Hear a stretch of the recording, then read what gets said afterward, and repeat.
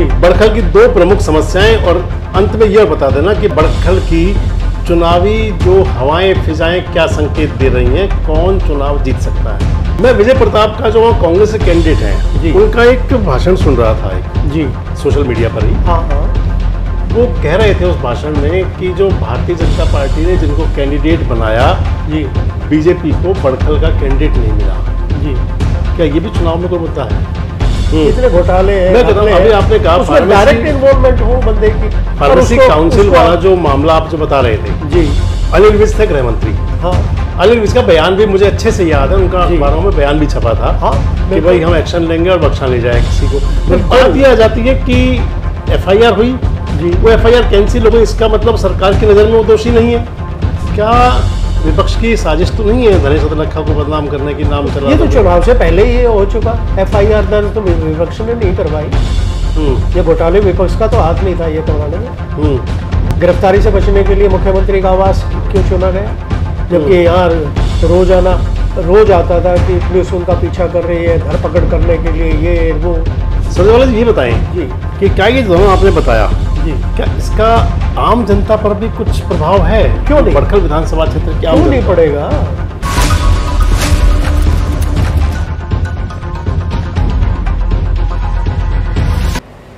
दोस्तों नमस्कार। हिंदी फ़िल्मों में गाना है चेहरा क्या देखते हो दिल में उतर कर देखो ना। हालाँकि ये गाना जो है ये जो संगीत है ये प्रेमी युगल के लिए है।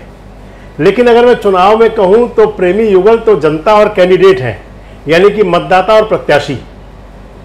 भारतीय जनता पार्टी ने इस चुनाव में कई प्रयोग किए हैं और एक प्रयोग उसके अंदर हुआ है चेहरा बदलने वाला। फरीदाबाद संसदीय क्षेत्र में भी भारतीय जनता पार्टी ने कई चेहरे बदले। बड़खल का चेहरा बदला, सीमा त्रिखा को हटाकर धनेश अदलखा को ले आए। पलवल का चेहरा बदला, दीपक मंगला की जगह गौरव गौतम आ गए। अगर चेहरा बदला ओल्ड फरीदाबाद में, फरीदाबाद 89 में तो नरेंद्र गुप्ता की जगह वापस आ गए विपुल गोयल। हथीन के अंदर चेहरा बदला परवीन डागर की जगह मनोज रावत और होडल में चेहरा बदला जगदीश नायर की जगह हरिंदर रामरतन। मैं आपसे चर्चा में हूँ फरीदाबाद की बड़खल विधानसभा को लेकर। बड़खल विधानसभा में सीमा त्रिखा की जगह धनेश अदलखा को कैंडिडेट बनाया है। कितना फ़ायदा होगा कितना नुकसान होगा धनेश अदलखा का जो मैंने बताया कि चेहरा क्या देखते हो। यानी कि अगर सीमा त्रिखा का चेहरा नहीं दिखेगा और धनेश अदलखा का चेहरा सामने आएगा तो वो जनता के बीच में क्या संदेश देगा? कुछ इन्हीं बातों को लेकर मैं चर्चा में हूँ। और चर्चा में मौजूद हैं देवेंद्र सुरजेवाला जी। सुरजेवाला जी बड़खल विधानसभा क्षेत्र के मतदाता भी हैं। फरीदाबाद सेक्टर 21 सी में आपका निवास है तो आप तो वहाँ के मतदाता भी हो गए। बिल्कुल। तो चेहरे को ठीक से पहचान लोगे। जी। धनेश अदलखा वर्सेस सीमा त्रिखा पर की बात कर लें। जी। कितना बीजेपी को फ़ायदा होगा? कुछ भी फ़ायदा नहीं है। चेहरा बदलने की ज़रूरत क्या आन पड़ी होगी बीजेपी को? बस कुछ ऐसा तजर्बा या आजमाइश के तौर पर हम्म। बीजेपी ने सोचा कि भाई शायद लेकिन प्रैक्टिकली और धरातल पे तो मुझे लगता है कि शायद भाजपा को नुकसान ही उठाना क्या माने सीमा त्रिखा की बहुत ज़्यादा एंटी इनकम्बेंसी थी बहुत ज़्यादा विरोध थी, लेकिन जो इस वक्त मौजूदा जो प्रत्याशी बनाए गए हैं जी। उनका तो रिकॉर्ड है। हरियाणा के अंदर फार्मेसी काउंसिल के वो चेयरमैन रहे। हाँ हाँ। वहाँ पे जितने भी लाइसेंस जारी हुए हम्म। उन सब का जो खेल खेला गया वो सबके सामने है। हम्म। उसके लिए देखिए मैंने यहाँ आपने कोई शिकायत नहीं की। जी। विभाग ने खुद जाँच की जी, और जी। पाया हम्म। कि भी वो इस बात के लिए पैसे का चलन हुआ है। और एफआईआर दर्ज हुई। विभाग की तरफ़ से एफआईआर दर्ज हुई। और गिरफ्तारी के वारंट जारी हुए। जी। और श्रीमान जी जो है ना मुख्यमंत्री के आवास पर चुपते फिरे रहे। दो महीने तीन महीने। हम्म।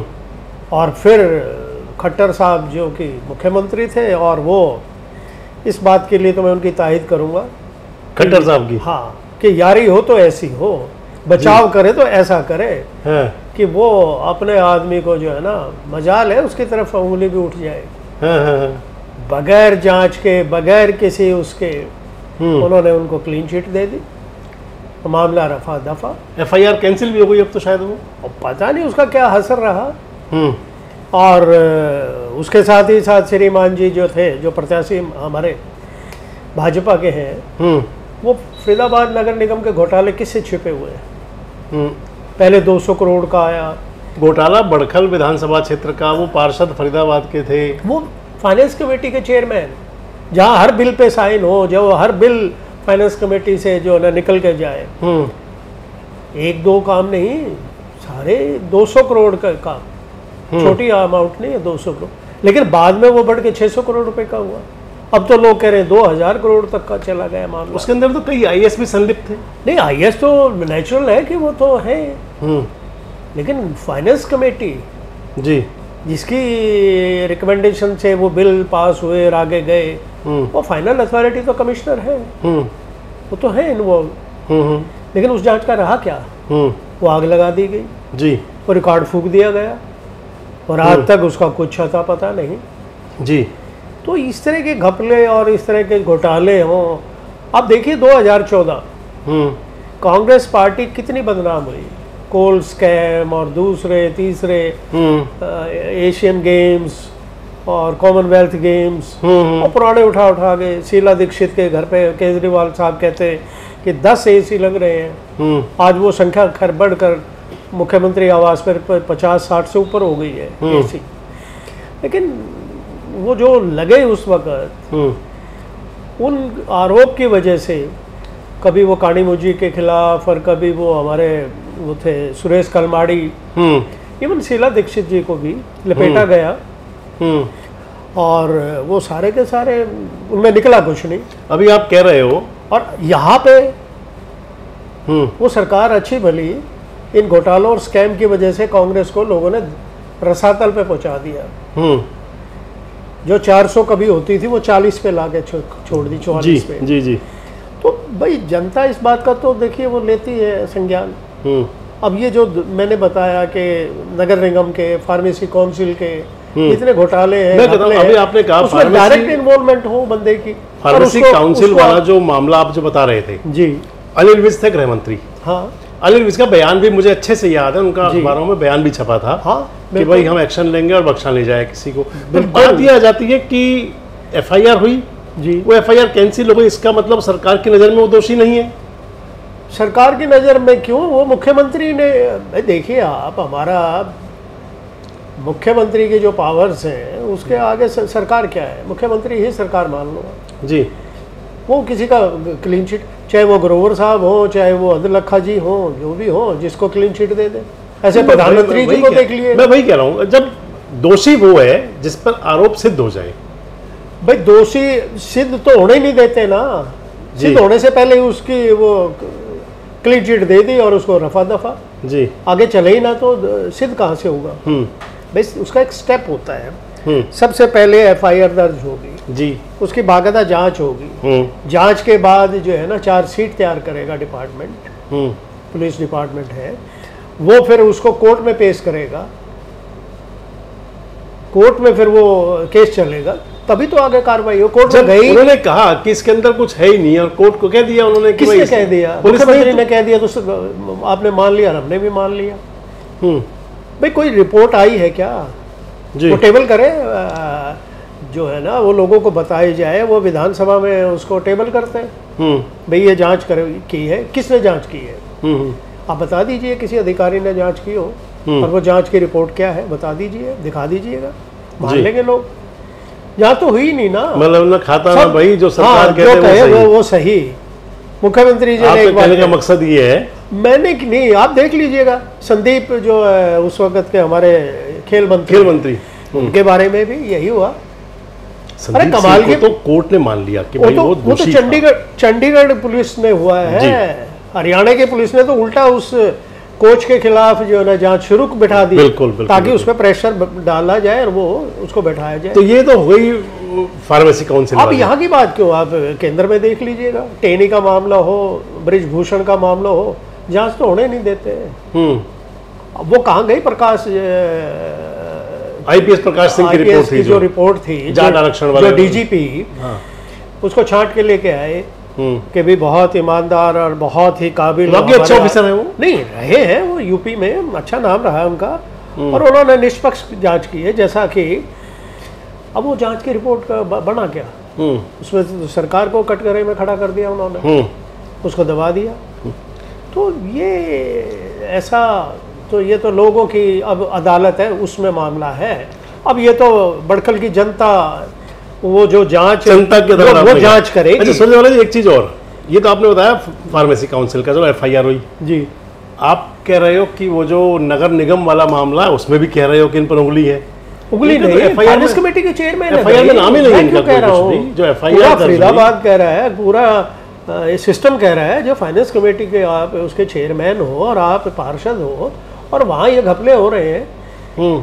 हाँ उसमें मेरा और आपका नाम कैसे आएगा? नाम तो उन्हीं का आएगा ना जो उसमें इन्वॉल्व होंगे। हम्म। नहीं उनमें तो नहीं एफ़ आई आर में नाम नहीं है सदर का कहीं भी। भाई एफ़ आई आर दर्ज कराए कौन? मैं और आप करवा सकते हैं। चलिए आप करवा के देख लीजिएगा। आप अपना निजी तकलीफ़ हो तो उसकी एफ़ आई आर नहीं होती कई बार। हम्म। तो एफ़ आई आर तो दर्ज होने ही नहीं देते ना। हम्म। जाँच होने ही नहीं देते। हम्म। कितने दिन यहाँ पे लोग जो है ना एक वो हमारा संगठन था जिसमें वो हमारे वो संत हैं स्वामी जी क्या नाम है? फरीदाबाद में वो लोग धरने पे बैठे रहे। राम केवल। राम केवल। अनशनकारी बाबा। हाँ अनशनकारी बाबा। उनके लिए कह देते हैं लोग भाई वो तो वैसे ही हैं तो वैसे ही वैसे क्या है उनका कोई पॉलिटिकल वो तो है नहीं। हम्म। अच्छे आदमी यूँ तो विनोबा भावे को भी कह देते थे। हम्म। जयप्रकाश नारायण को भी कह वो सरकार के लोग कहते हैं तो विपक्ष के हाथ में कांग्रेस के हाथ में खेलते थे इसलिए कहीं बैठ जाते थे। भाई वो तो कहेगी सरकार तो लांछन लगाएगी अपने आदमी को बचाने के लिए कुछ भी कहेगी। चलो सरजवाला जी ये बताएँ जी। कि क्या ये दोनों आपने बताया? जी। क्या इसका आम जनता पर भी कुछ प्रभाव है? क्यों नहीं? बड़खल विधानसभा क्षेत्र की क्यों नहीं पड़ेगा? हम्म। क्यों नहीं पड़ेगा? आप देखिए ये ये इन बातों को कहाँ तक छुपाओगे आप? हम्म। कब तक छुपाओगे? हम्म जनता तो सब कुछ देखती है जनता तो आईना है। जी। और इस चीज़ को भली भांति देख रही है। और उसका नतीजा तो आठ तारीख को आपके सामने आ जाएगा। मैं विजय प्रताप का जो कांग्रेस के कैंडिडेट हैं जी। उनका एक भाषण सुन रहा था एक जी। सोशल मीडिया पर ही। हाँ हाँ। वो कह रहे थे उस भाषण में कि जो भारतीय जनता पार्टी ने जिनको कैंडिडेट बनाया जी। बीजेपी को बड़खल का कैंडिडेट नहीं मिला। जी। क्या ये भी चुनाव में कोई मुद्दा है? नहीं वो सीमा तिरखा को शायद जो एक्चुअली क्या है कि मुख्यमंत्री और जो हमारे खट्टर मुख्यमंत्री साहब। मुख्यमंत्री और हाँ, खट्टर तो अब खैर- वो तो नहीं करना उनका उनका तो खैर कोई रोल ही नहीं था जो। तक का हाँ जो पुराने हमारे ex chief minister ex C M super CM super C M yes उस वक्त एक्स तो वो हो गए जिनका दखलंदाजी बंद हो गई। बंद हो जाए। सुपर सीएम मुझे भाजपा के एक नेता मिले थे। बीच में बात मिला रहा हूँ वापस आएँगे। जी। तो चुनाव लड़ना चाह रहे थे। जी। भाजपा में बड़ा उनका और रहा है। जी। मुझे वो मिल गए थे दिल्ली दरबार में एक जगह। ठीक है। तो कहने लगे चुनाव लड़ने का मन था तो चुनाव लड़ने की मन की सोच करके मैं गया हम्म, मनोहर लाल जी के पास। जी। कि भाई मनोहर लाल जी मेरा ध्यान रखो। हम्म, तो मनोहर लाल जी ने उनको भेज दिया धर्मेंद्र प्रधान के पास। जी। भाई मैं तो कुछ नहीं हूँ। हम्म, धर्मेंद्र प्रधान ने कहा कि देखो हमारे तो सब कुछ करता धरता मनोहर लाल जी हैं। हाँ। और भाई वो साढ़े नौ साल दस साल सीएम रहे उनकी रिकमेंडेशन आएगी। जी। तो मुझे कह रहे थे कि मैं धर्मेंद्र प्रधान के यहाँ से मैंने पूछा फिर मनोहर लाल जी क्या गए? कहने लगे नहीं मैं तो अपने घर चला गया यार सीधा। हाँ। कि भाई धर्मेंद्र मनोहर लाल ने वहाँ भेज दिया और उसको वापस वहीं भेज रहे हैं तो क्या करूँ जाके फिर? ठीक बात है। तो आप बता रहे थे क्या बता रहे थे अभी आप? मैं ये कह रहा था कि जो है खट्टर साहब और यहाँ के जो हमारे सांसद हैं हम्म। उनका ये लाडला बेटा कहलाता है। अच्छा। और देखिए कोई ना कोई तो गुण होगा। भाई बेटा या तो कमाऊ हो हाँ। या उसमें कोई और दूसरे गुण हो हाँ। तो उसके कारण से उन दोनों ने मिलकर हम्म, ये टिकट का जो है आपने कहा ना भाई टिकट कैसे क्यों मिला ये? हाँ। सीमा जी का टिकट क्यों कटा? हम्म। तो इसके पीछे जो लोगों के अंदर आम बातें मैं तो ये पूछ रहा था कि क्या ये मुद्दा भी है क्या इस बात का जो लोग कह रहे हैं या विपक्ष के कैंडिडेट कह रहे हैं कांग्रेस के कैंडिडेट कह रहे हैं या लोग कह रहे हैं? आज श्याम सुंदर कपूर ने भी छोड़ दी कल जी बीजेपी जी हाँ। कांग्रेस में चले गए और उनका भी मेरी टेलीफोनिक बात हो रही थी तो वो कहने लगे कि बीजेपी को कैंडिडेट ही नहीं मिला यहाँ पर कोई। नहीं वो इसलिए कह रहे हैं कि उसके पीछे दो कारण है। हम्म। क्योंकि अधलखा जो है वो इस क्षेत्र से नहीं है बड़खल से। जी। वो दूसरे क्षेत्र से है। 89 से हैं हाँ। हम्म, तो दूसरे क्षेत्र के आदमी को यहाँ टिकट देना जबकि यहाँ और टिकटार्थी थे। हम्म, उनका कहने का ये भी तात्पर्य हो सकता है कि उनको टिकट ना दे के क्या उनको आदमी नहीं मिला यहाँ पे? हम्म, भाई जो बाहर से ला करके आपने यहाँ हमारे ऊपर थोप दिया हम्म। तो वो इस नाते भी कह सकते हैं। तो क्या लगता है उसका फ़र्क पड़ेगा कोई? क्या क्यों नहीं पड़ता? पड़ता है। आम जनता को इस बात का भाई कैंडिडेट हो तो उसके लिए थोड़ा फ़र्क तो आता ही है? हम्म। तो बहुत बड़ा नेता हो और कभी चल जाए तो अलग बात है। वरना नुकसान तो हमेशा रहता है। पहला चुनाव तो कैंडिडेट का हमेशा रहता है। आपका जहाँ पर 21 सी में घर 21 सी सर? जी। जहाँ आपका घर है मुझे लगता है उससे कोई लगभग चार फरलांग दूर होगा जी। सीमा त्रिखा जी का घर। जी। तो क्या लगता है सीमा त्रिखा का कोई टेस्ट तो वहाँ तक हवाएँ बड़ा संकेत देती हैं? जी।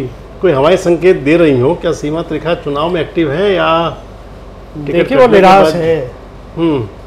और स्वाभाविक है और कोई आदमी जिसका राजनीतिक कैरियर को इस तरह से विराम दिया जाए तो उसको निराशा तो देखिए स्वाभाविक है और वो तो कह रही थी कि भारतीय जनता पार्टी के सैनिक हैं हम।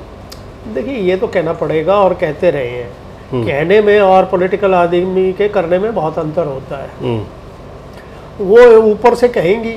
हम्म। लेकिन जहाँ तक है उनकी निराशा और और उनके आदमी जो है उनसे साफ़ संकेत तो वहीं से मिलता है ना। जो उनके वर्कर हैं जो उनके क्लोज हैं उनका सर्कल है वो उनका क्या एक्टिविटी है क्या गतिविधि है वो क्या रुख अपनाते हैं उससे पता लगता है। हम्म हम्म तो नहीं है एक कार्यक्रम में था उसका भी मैं वीडियो ही देख रहा था हमारे स्टाफ के लोग गए हुए थे। जी। मैं जो रिकॉर्ड करके लाया उसमें देख रहा था एक अ, शायद तीन नंबर में प्रोग्राम उनका हो रहा था कोई एक जी। अ, उसके जो जैसे पुरोहित टाइप के लोग कह सकते हैं उस टाइप के एक सज्जन थे। जी। तो वो मंच संचालन कर रहे थे। जी। विजय प्रताप के कार्यक्रम का। जी। तो लोग कह रहे थे पहले सीमा जी के वहाँ के थे वो वहाँ से यहाँ गए तो ये शिफ्टिंग वाला खेल कुछ है कुछ हाँ ऐसा ये राजनीति में चलता है। ये इस तरह के जो लोग हैं ना मैं हाँ। समझ गया आप जहाँ बोल रहे हैं।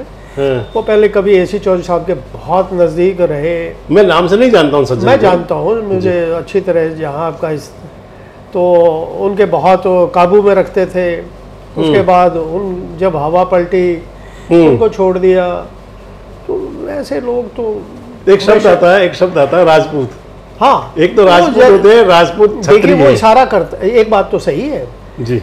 वो लोग जैसे हमारे मौसम के वैज्ञानिक होते होते हैं हैं, वो पता करते हैं कि मानसून हवाएँ कब चल रही हैं किस तरफ़ से बढ़ रही देश है के लेवल पे माने हाँ। जाते हैं रामविलास पासवान राव इंद्रजीत सिंह भाई मौसम वैज्ञानिक हमारे धर्मवीर हैं धर्मवीर, हैं। हाँ।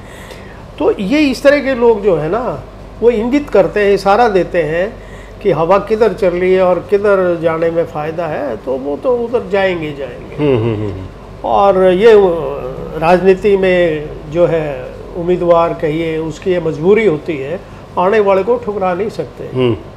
पता होता है लेकिन फिर भी बहुत सी चीज़ें होती हैं। चलिए अंतिम सवाल एक और चीज़ है इससे जुड़ी हुई। जी।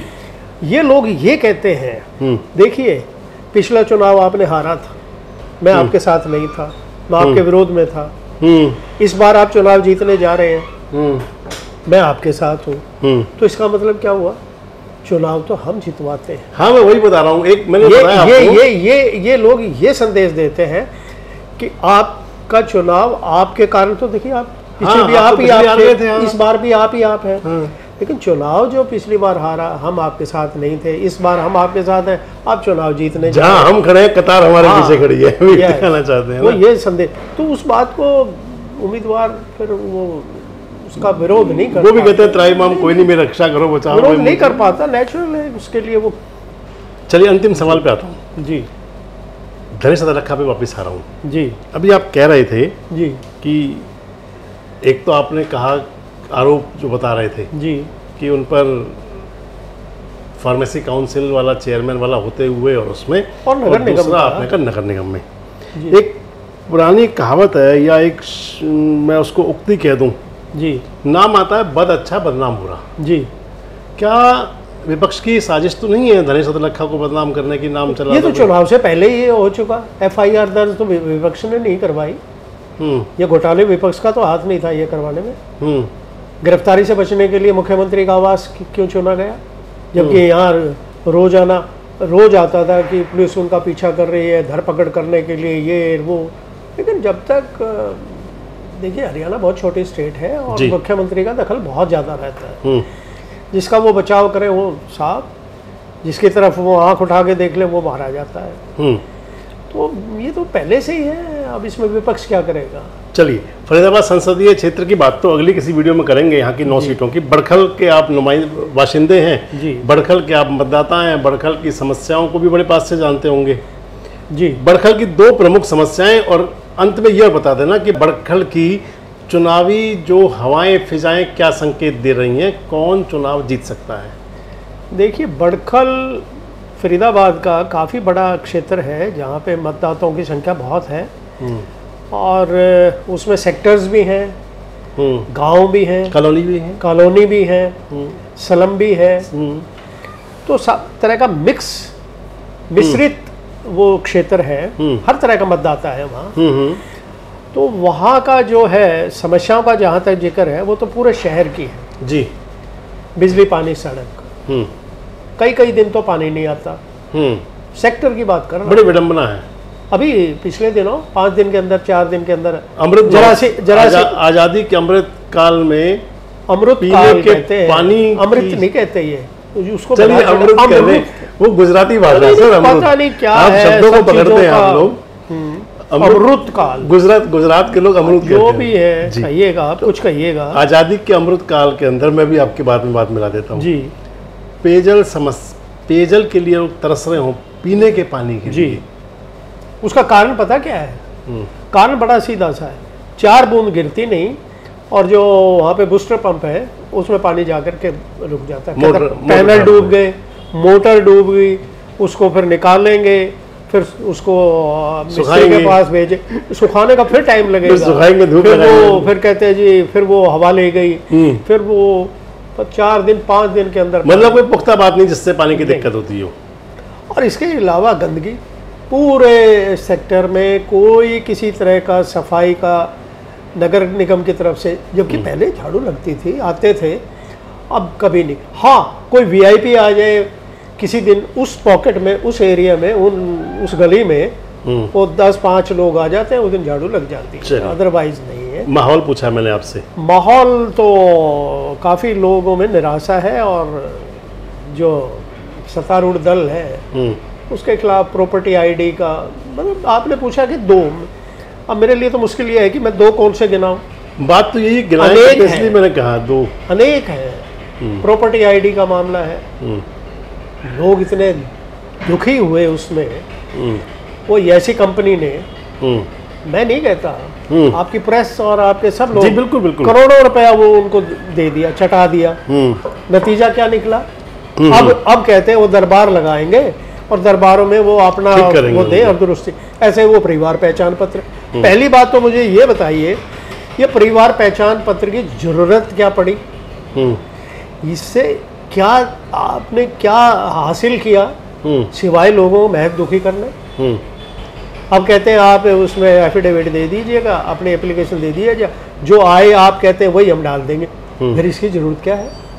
मेरी मर्ज़ी में आए डेढ़ लाख रुपए डालूं मेरी मर्ज़ी में पाँच लाख डाल दूँ।